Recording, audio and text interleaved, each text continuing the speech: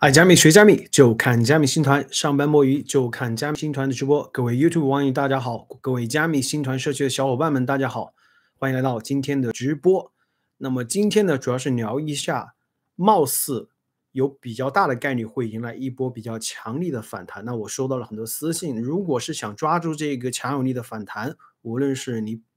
呃跑路也好，对吧？见好就收，遇到反弹就撤，或者是说你想。评估一下风险和投资的回报，值不值得在这波反弹里面去抄底一些项目？那么今天在节目的后面会重点讲这个部分。那么首先，按照以往惯例，我们先回顾一下那个行情数据，呃，核心的新闻事件。其实今天的新闻事件还比较多的啊，这几有几个新闻，特别是还有一个关于安全方面的，都值得一讲。那么追求高效资讯的朋友呢，我们大概前面十五分钟就可以覆盖这些内容，后面的部分是一个 Q&A 自由交流的环节。我今天依然收到了有人要求我把直播做短一点，那我已经很清楚告诉你，前面你看前面十五分钟啊就可以了，好不好？那我们进入第一个环节，首先我们先回顾一下今天的行情数据。那么今天的行情可以说是，呃，自我觉得是五月以来嘛，我看的那个新闻头条也统计了。啊，基本上今天的 Coin Telegraph 和 Coin Desk 都是在讲这个行情的，啊，这个今天是很有利的一个反弹。那么今天这个行情数据呢，总市值是有个明显的增长，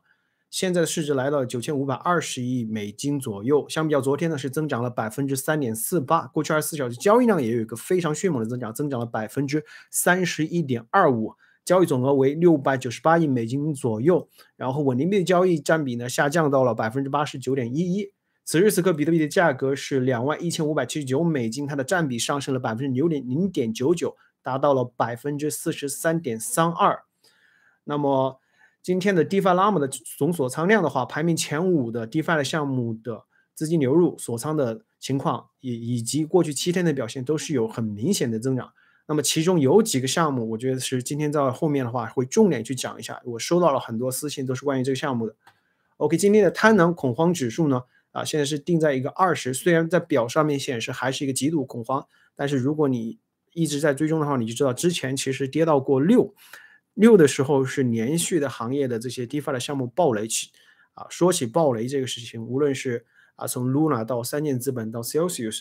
啊到 Vol 到最近的 Voyager，就是越来越多的迹象表明，这些所谓打着 DeFi 的这些企。打着 DeFi 名义的这些项目还是玩的 CFi 那一套，而且甚至是庞氏骗局。那么今天关于 Voyager，我觉得就是一个很大的丑闻。等一下这条新闻我们重点讲一下。那么排名市值排名前一百的这些项目在 CMC 上面呢，我们看一看过去二十四小时的表现，谁的表现是比较好？按照这个排名的话，有两个项目是两位数的增长，但是啊比较好的是，其实绝大部分的项目的话，至少有超过百分之五十的项目是有一个呃较为有利的增长的。然后过去七天的表现的话，啊，基本上算作是一个比较有利的反弹了。那么今天的表现的话，就啊，One Inch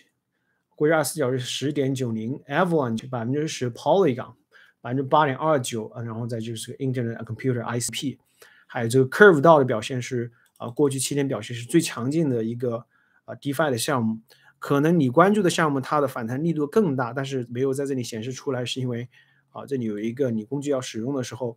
啊，你要翻到第二页。但是我如果是关注整个行情的走势的话，我们关注前一百市值的项目就可以了，因为一百以后它的市值体量比较小，占比比较小。那么这些核心行情数据呢，我建议大家是每天都要去跟踪一下，这是对行情的一个走势啊最最重要的一些核心数据。OK，我们继续看一下今天的几条啊新闻。那么今天有个新闻的话，像呃关于交易所的发展这一块儿。我觉得现在币安和 Coinbase 在这，其实最近它有他们，其实我感觉整个加密行业的交易所的格局有点进入三三足三国三国时期。那么是我觉得三国的三足鼎立三强的局面已经形成，是哪三强的 Coinbase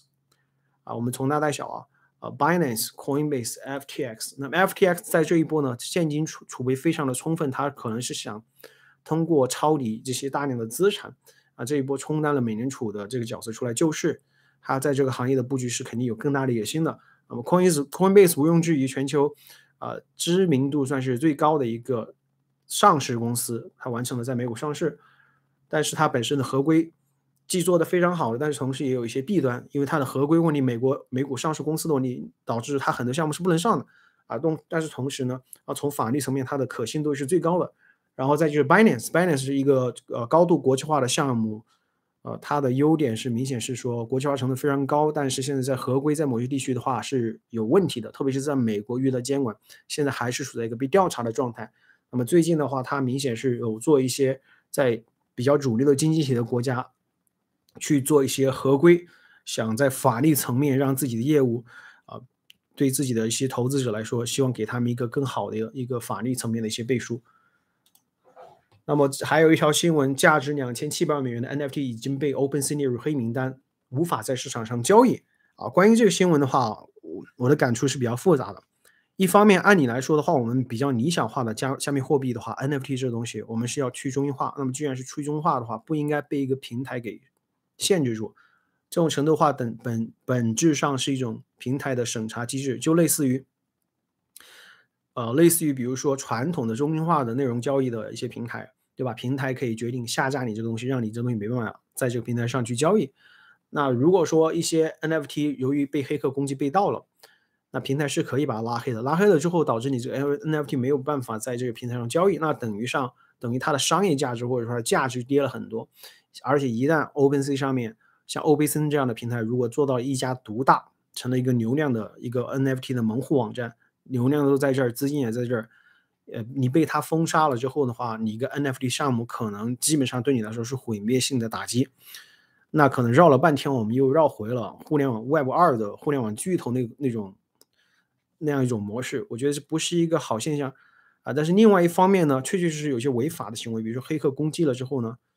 嗯，特别是呃 ERC 二零的标准的。那你要符合全世界的 KYC 反洗钱这样流程的话，肯定平台要做出一些限制啊，至少在法那个违法犯罪这一块的资金的流向，它肯定是要做一些东西的，要做一些审查的。那这一块的话，我不知道在 Web 三的时代，我们究竟要如何去面对这个问题？我觉得总结起来的话，嗯，目前可能真的是在相互试探。我觉得目前没有一个比较好的啊解决方案。然后有人提到 NFT 是去中心化，可以去在去 LooksRare 上交易，可不可以？啊，当然可以。问题是，嗯，你对一个项目来说，你是毁灭性打击的。你的交易量如果是，OpenSea 把你下架了之后，你虽然可以去别的平台，但是你同时在流量上就把你封杀了，这是最大的问题。就好像你说啊，Twitter 把川普封杀了，难道他不能搞个去个别的平台去发声吗？可以啊，他当然可以啊，他可以去 Facebook，对吧？他可以去 YouTube。啊，说是这么说，但是现实层面的意义呢？对他的言对他的言论的这个打击，言论的自由度打击是非常非常大的。我觉得这个道理同样运用在 NFT 的交易市场上面。OK，这是呃今天是 Web 三点零世界我们社区大佬做了一个资讯平台的这个快讯。那么前面是还有最后面我们会讲一下链文的发的这转发这个 Bankless 这个深度调研的，可以值得讲一下。那么还有这新闻是呃关于那个 Voyager Digital，这里强调了啊美国联邦存款保险公司发言表示。就是他们正在调查关于那个 Voyager Digital 的虚假宣传。我们知道，像银行的话，啊，美国简单的说一下，美国联邦存款保险公司的话，类似于就是说，啊，一个给那些做存款业务的，还会投保，投保了之后，如果说这个平台崩爆雷，啊，这个银行对每个投资人在开开了户的人是有一个保险公司会进行一些赔付的，大概是这么个业务。但是呢？这个美国联邦存款保险公司跳出来说，他们并没有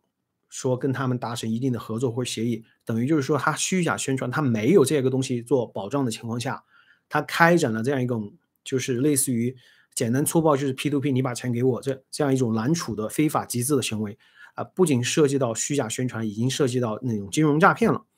啊，所以说这个行业加密行业，即使在啊监管最严格的那几个国家，你就会发现。这种 CFI 的这种诈骗依然是层出不穷，呃，关于这个事情的话，我觉得其实我要给加密行业的人喊一句冤的，就是加密行业的骗子非常多，大部分项目很多项目都是骗子，但是我不我我的意我的觉我觉得就是说没有必要单独的去指责加密行业这个行业的某些地区的人，或者说某些项目，或指责指责这个行业骗子多。因为从现实世界来讲，华尔街的骗子一点都不少，中心化的金融的体系骗子更多，而且这一次最糟糕的就是这帮 Voyager 也好，三箭资本也好，Celsius 也好，等等等等，这帮人，这帮屌毛，他们玩的从头至尾就是他妈的是 CFI 那一套，本质上就是中国大陆以前崩盘那个 P2P 理财那套，没有任何人监督他，甚至连 Voyager 他居然是在美国这个监管体系下面明目张胆的虚假宣传，他没有的东西，他活生生说他有，然后有上有十万近十万的人受到了影响。把钱给了他，让他去运作在加密这个行业，他不仅给加密行业带来非常恶劣的影响，因为吃瓜群众会觉得那都是搞 crypto 人就是骗子。其实我觉得这个东西是很冤的，只能说金融领域自古以来玩跟钱最坚硬的骗子就特别多。大家看过《华尔街之狼》的，华尔街的骗子，直到今时今日，华尔街的骗子可一点都不少。为什么 crypto 骗子多，就要承受这个骂名？其实我们回头看 C。DeFi，我觉得 DeFi 更邪恶，DeFi 的骗子最多啊，这是我由这个新闻演演示出来的。所以这个行业的话，我希望它是往一个好的发展啊。但是我同时又不得不吐槽一句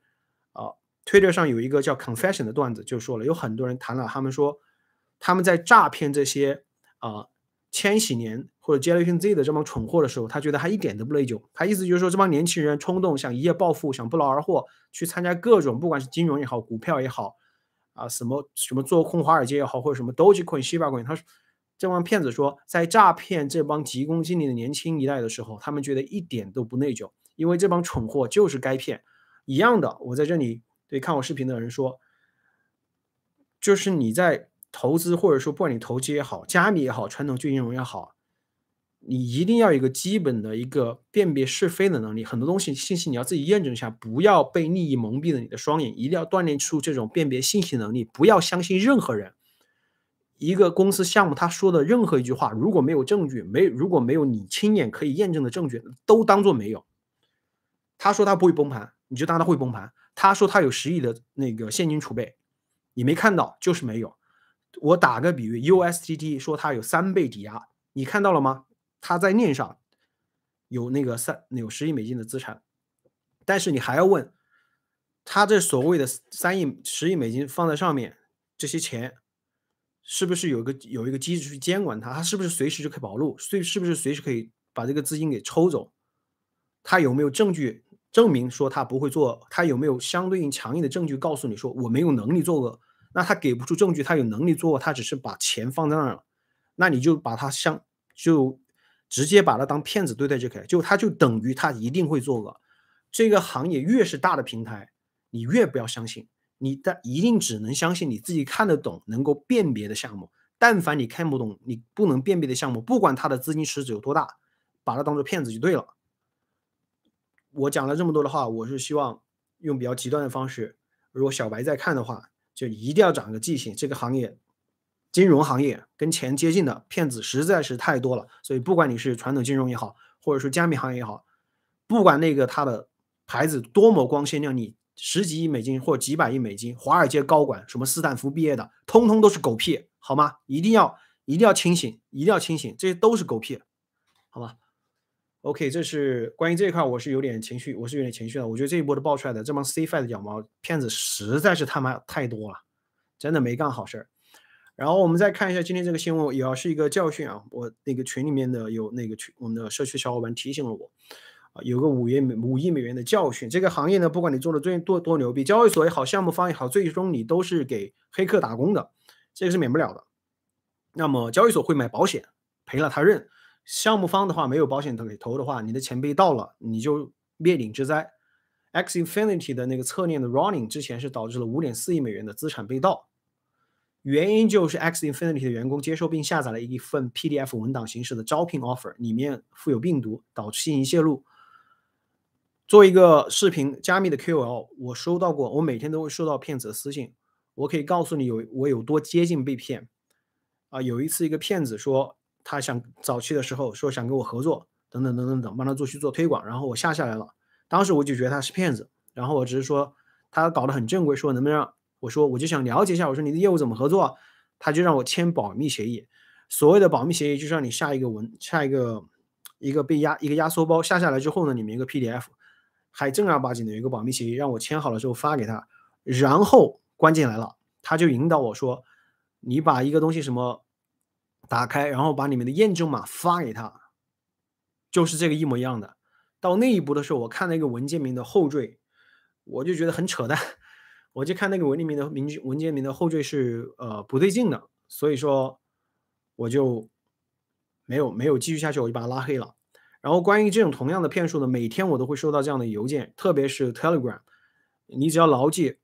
，Telegram 给你打招呼的陌生人的，不是你自己主动去联系的朋友介绍什么的，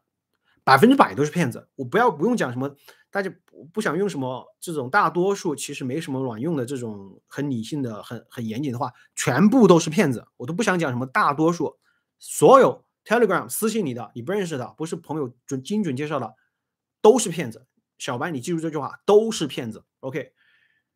同时呢，你一定要有计算机相关的常识，什么文件名后缀常见的，不要打开文件链那些什么附件等等等等等。然后你公用的电脑和你的私人钱包要分开，这些你都是要做的。钱越多，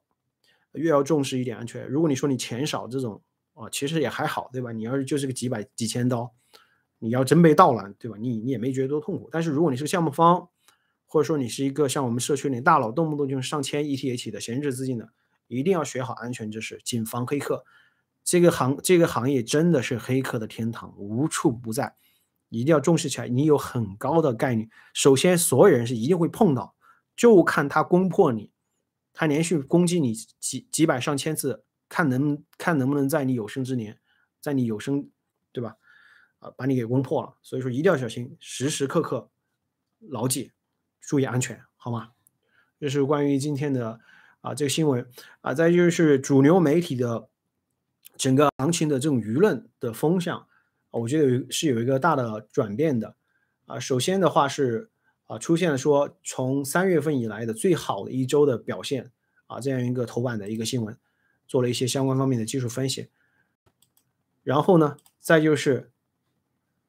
有已经开始出现了一些口吻说。比如这刚刚这个是头条的，然后因为那个日本首相事情，现在是主要在聊那个，啊，出现了 CoinDesk 头版头条有开始提到说啊最糟糕的熊市可能已经过去了，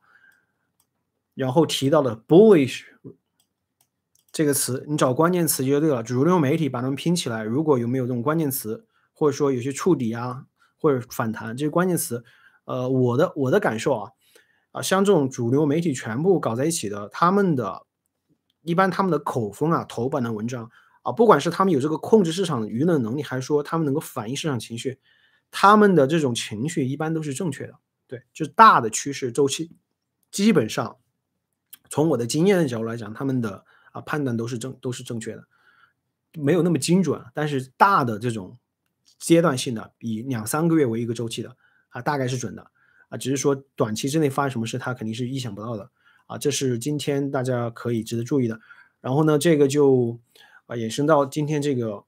封面的这个话题，如果有一波强力的反弹，哪些项目值得抄底？那么其实这个的话，呃，我的逻辑是这样子的：首先你问一个问题，在这一波连续的这些项目暴雷中，有哪些项目是最冤的？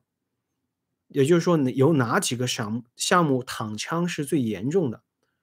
要不就是说，他新上线很好的项目被 Luna 给带崩了，但是他自己并没有做错什么，导致他是吃了一个大亏的。像这种项目，这种类型的项目，我心目中有一个选。我觉得他如果这一波有一个上升的波段，至少是在这个周的周期之内有个大的反弹，比如说反弹到反弹到三万多美金，我觉得。在 Luna 崩盘开始上线的非常优质项目，但是被 Luna 带崩的项目，一定会有一个非常有力的反弹。然后再就是 Steth 流动性危机的，由于这种脆弱的市场情绪，导致有几个平台它跟那个以太坊 Merge 相关的、以太坊流动性相关的，但是本身它的结构是没有安全隐患的，它也没有上杠杆的这种平台，它是很无辜的，但是实在是被带崩了。我觉得这种项目大概有两到三个，然后从这几天的表现来看，我觉得这一波的危机解除了之后，它的反弹修复能力也会比较强，因为它本身就是很冤的，它跟它根本就没有参与什么过度上杠杆，也没有搞什么骚操作，纯纯粹是被猪队友给带崩的。然后目前的 Merge 的口风放出来的非常顺利，现在已经到七月，那么下一个八月到十月之间就有一个市场会有个预期的情绪。那么啊，综上所述，我觉得有有大概有三个项目目前是呃，我感觉是符合这个条件的，还有几个项目我觉得是一路都表现比较好的。那我从这个先从啊排名是前一百的项目去啊给一给我自己的一个非常不靠谱主观的感受的一个判断嘛啊，因为我觉得做媒体的话。就是还是不能讲那种为了自己不讲错，讲一些冠冕堂皇说了没说，说讲那种要讲的话讲得很满，都不愿意给一个主观的观点。我觉得如果你讲话是全是中性正确的，你就是没有观点，没有观点的就是废话。那我说一个主观的东西吧，我首先是从啊我自己的主观感受，你其实每天有个排市值排名前一百的项目，你每次大跌之后反弹，它的表现，你就可以知道哪些项目是比较硬的。啊，首先 Curve 倒是绝对算一个。啊，但是问题是它过去七天已经涨得太多了，所以说如果此时此刻你刚刚看到视频或者最近几天你想抄底的话，呃，我觉得它就不算了。你要早几天的话是可以的。然后呢，还有一个表现的话，Floor Chain 这个雷神链呢，我没怎么关注个项目，但是几乎每次反弹都是有它的。啊，这个项目研究不多啊，只是从这个指标来看。然后 Matic，Matic 其实反弹的还可以，我觉得不是最优的一个项目，但是算一个。然后还有一个 Stepen，我不想提它，但是不得不说这几天的反弹，从投机的角度来讲，只是这个项目的非翁风险非常非常高，它算一个。从短期投机的角度来讲，算一个。然后呢，再就是个以太坊，绝对算，因为有 Merge 在前面。之前那个流动性危机，其实以太坊是最冤的一个项目。你要知道。以太坊自己本身没有做错任何事情，全是这帮搞 CFI 的人跑到加密货币行业去做诈骗，导致了流动性危机。他们过度上杠杆，把以太坊给带崩了。但是以太坊是符合我刚刚说的这个逻辑的，以太坊非常冤。我觉得如果说这波那帮 CFI 去杠杆去差不多了，以太坊应该回归到它正确的一个合理的价格。我觉得回可能就会在这个价格的基础上会有一个比较有力的反弹。然后，ApeCoin 也算，但是 ApeCoin 其实它现在价格，因为它它也没有跌得很惨，所以说它不大符合我刚刚说的这个逻辑。它其实没有怎么受到很强的这种牵连。然后还有两个项目是在呃一百名之后了啊，有对，还有一个项目我觉得最符合这个条件的，Project Galaxy。Project Galaxy 倒不是这个啊，是 GAL，要是 Project Galaxy。Project Galaxy 刚上的时候是马上就赶上了那个，嗯，那个 Luna 崩盘，把它给带崩了。然后还有个项目是我自己有买的比较多的，但我讲出来我觉得就会有点，呃，你就本能的，就你看我的内容，我就是教你方法论，就是你本能你应该怀疑我的动机啊，因为我讲这话不公正了。啊，我觉得 Lido 道很符合这个条件，因为首先 Lido 道它的业务它没有什么杠杆，它就是帮助以太坊做小额质押的。呃，我之前讲过它的风险，风险就是项目方的人拿了你这个 ETH 去做骚操作，但是目前看来它是没有问题的，Curve 也没有问题，那它的 STETH 就是一比一兑付的，它其实系统上它没有搞骚操作，它也没有，它这个业务模式是没有上杠杆的。然后由于之前的 STETH 的危机呢，把它带崩带的非常非常惨，然后它上 Binance 的那一天也赶上了 Luna 崩盘，是十级的最糟糕的 listing 的表现。所有的项目里面，就主流项目、市值大的项目，它有最糟糕的当日上上 Binance 的表现。所以说这个项目，我觉得在这几个项目里面，除了以太坊以外，我觉得它是最冤的一个项目了。Curve 到已经修复的差不多，它非常非常冤。其实它根本没做错什么啊，但是被带崩了，而且它带崩带的特别惨。它之前是上 Binance 的时候，赶上 Luna 刚开始崩盘的时候，它价格是多少？三点几刀，现在是多少？现在只有七十五美分，这几天修复的还不错，因为它如果修复的不是特别好，我都是有点慌了啊。但是从这几天来来讲的话，过去一周啊，它修复的速度还修复的不错，交易量增长的也不错。目前市值比较小，然后特别关键就是我刚我我刚刚提到的，就是它之前在 Luna 没有崩盘之前的价格上 Binance 那一天的时候，那一段时间都。上 Binance 那天没有破破那个 all time high，但是也到了三点几刀，长之前的价格是保持在两到三刀，那么现在这个价格，也就是说，如果以太坊能够修复，加上莱杜道是会受到那个 merge merge 如果成功上线，来路道是最受益的一个小项目，最受益一个项目。它目前价格是今天是七十五美分，那么 Luna 崩盘之前的话是两点几两点几美金，然后接下来如果有一波比较有力的反弹，ETH 如果比如说回到一个接近两千刀的位置，一千七千八，然后加上 merge 成功上线的市场预期，那么在接下来啊八月份的时候，我觉得来路道的话有比较大的赢面，从风险和回报来讲，因为如果你说风险的话，那就是现在恐慌指数二十，然后再崩一波。崩到之前的低点，那也就是会继续，你你可能要承受的就是它现在是七十几，你进来啊刷一下可能会跌到四十几，四十几美分，啊这是它的下限。那么上限的话，我觉得是有有比较大的概率会到两刀左右，或者说在两到三刀，甚至是更高，取决那个 merge 能带来多大的市场反响。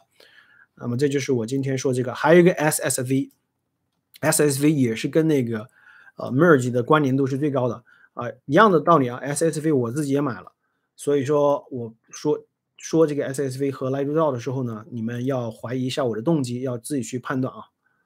因为我就是额外的偏好的这个项目，所以我刚刚讲的这两讲这两个项目的时候，我是没有太多的公正性的。然后其他的项目的话，啊，我暂时没有想到啊，呃，im 有人提的比较多的话，IMX Immutable Immutable 这一波反弹的力度非常不错，呃，但是我觉得这一段时间的话。可能没有太多的想，这个短期之内没有太多的想象力的空间，啊，基本上我关注到的这些项目，啊，差不多就是这么多了。嗯，然后我相信我刚刚已经正面的回答了大家关心，我怎么看你的风险和回报怎么样？OK，我相信我刚刚已经呃正面没有躲闪的直接回答了这个问题。虽然我一再强调，就是在整个这个